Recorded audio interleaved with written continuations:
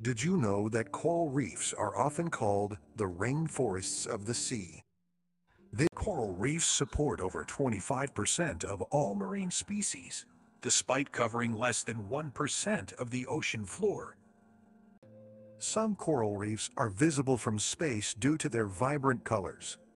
Coral reefs are not only crucial habitats for marine life, but also provide valuable ecosystem services like shoreline protection and carbon storage.